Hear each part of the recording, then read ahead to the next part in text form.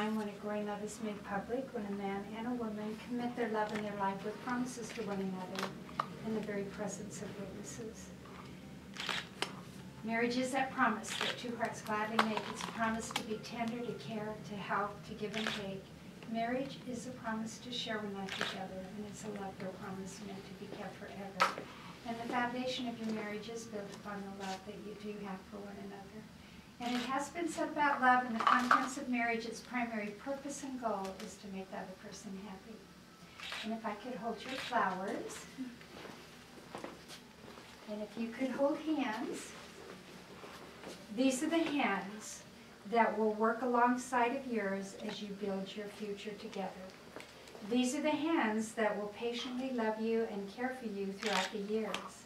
These are the hands that will hold you when you feel fear or grief fills your mind, and with the slightest touch will comfort you like no other. These are the hands that will give you strength when you struggle and support and encouragement to chase down your dreams.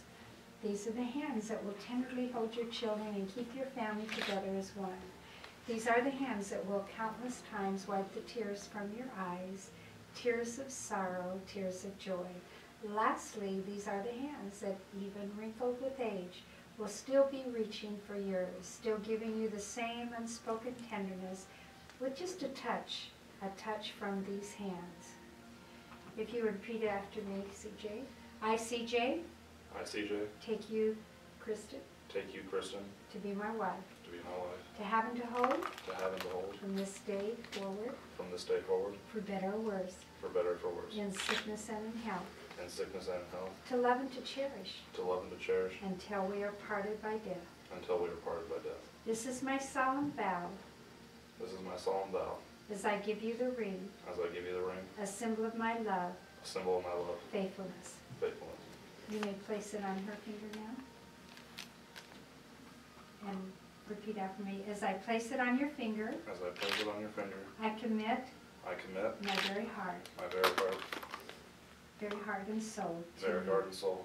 I ask that you wear this ring I ask that you wear this ring as a reminder as a reminder of the vows of the vows we have spoken on our wedding day. we have spoken on our wedding day. Now in turn, if you would repeat after me, Kristen.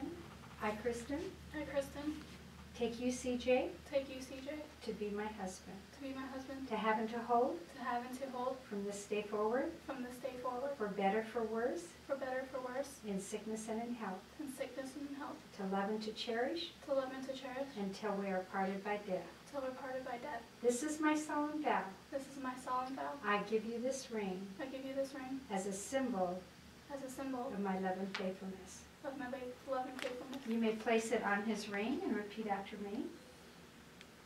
As I place it on your finger, As I place it on your finger, I commit my very heart I commit my very heart and soul to you. and soul to you. I ask that you I ask that you wear this ring wear this ring as a reminder as a reminder of the vows we have spoken of the vows we have spoken on this our wedding day. on this our wedding day. You know what, I would like to say that may these two rings symbolize the spirit of undying love in each other of your hearts. Wherever you go, may you always return to one another in your togetherness. May the home you establish be such a place of peace and joy that many will find there a friend.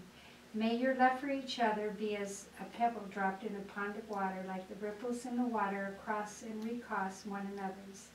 May your love touch and retouch all those around you throughout your life together. You're about to take part of the Unity Candle Ceremony, which is a part of your wedding celebration. Instead of separate lights in life, today you join your life, your marriage, and your love in unity with one another.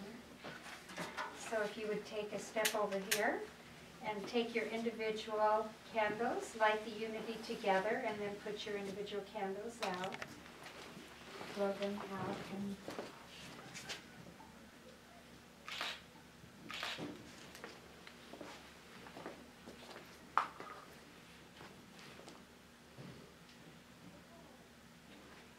just keep Oh,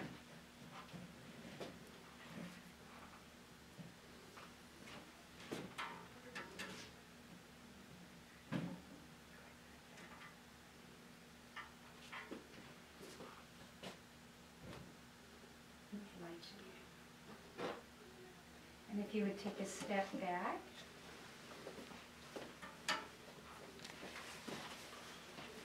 In the language of flowers, a red rose is a symbol of love, and it would be our hope that wherever you make your home, you just designate a permanent spot. Put a vase, two red roses that fit in, and celebrate this occasion every year on your wedding anniversary, at least in part by both of you bringing a red rose, placing in the vase as renewal, a recommitment of your love and promises you entered into this day with one another. And then during the year, if things happen, words can't resolve, if just one of you'd bring a red rose and place in the vase as a statement of your love, the other would see and accept it.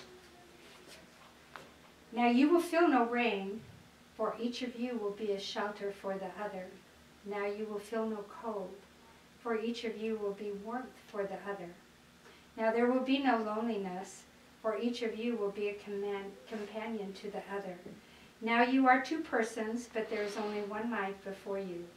Go now to your dwelling place to enter the days of your togetherness.